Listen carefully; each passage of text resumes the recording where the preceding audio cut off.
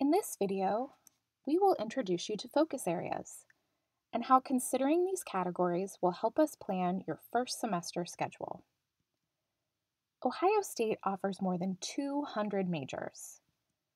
For many students, the idea of exploring this many options can feel overwhelming. We categorize all those options into six broad categories called focus areas. Majors in the same category often have similar course requirements or recommendations. Some majors may fit into more than one focus area.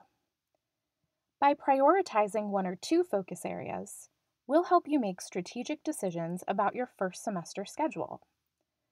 We use focus areas to guide you through the process of choosing classes with confidence, without having to pick one major out of over 200. As we describe each area, think about what you want to do. Consider which area best describes your interests. Do you want to think innovatively about the way the world is designed? Do you want to voice new and better ways to approach the world? The art, innovation, and design focus area might be for you. This category includes majors such as architecture, art and technology, engineering, and theater. Do you want to understand human behavior and interaction? Analyze how we engage with the world around us? Then majors in the behavior, culture, and context focus area might be a good fit for you. Some of the majors in this category include public affairs, economics, anthropology, journalism, and philosophy. Do you want to engage in teaching, training, and helping others? While many tend to associate teaching with K 12 education, there are many other ways to engage in education and training. Do you want to explore those interests and develop skills grounded in leadership, policy, and service? Then consider the education and public service focus area. This category includes majors like community leadership, environmental policy and decision making, science and mathematics education, and history. Do you want to impact health from the personal to the community level?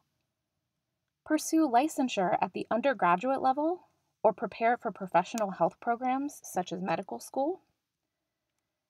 Majors in the health and human services focus area might be a good fit. These include direct patient care focused majors, such as radiologic sciences, and majors that focus on impacting the health and well being of larger communities, such as public health. Do you want to study business and industry and how they function within society? Do you want to prepare for careers in the nonprofit, private, and public sector? Students in the management and industry focus area learn about business and economic concepts while exploring different routes to business careers. Some majors in this focus area include city and regional planning, construction systems management, marketing, public affairs, and sport industry. Do you want to study the sciences from a theoretical or hands on approach? Explore how the sciences can be used to improve technology, the environment, and the human experience.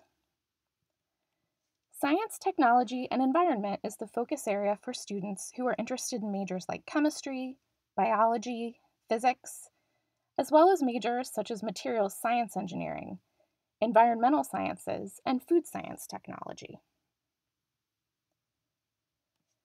Hopefully, at this time, you have been able to identify one or two focus areas that you would like to explore further.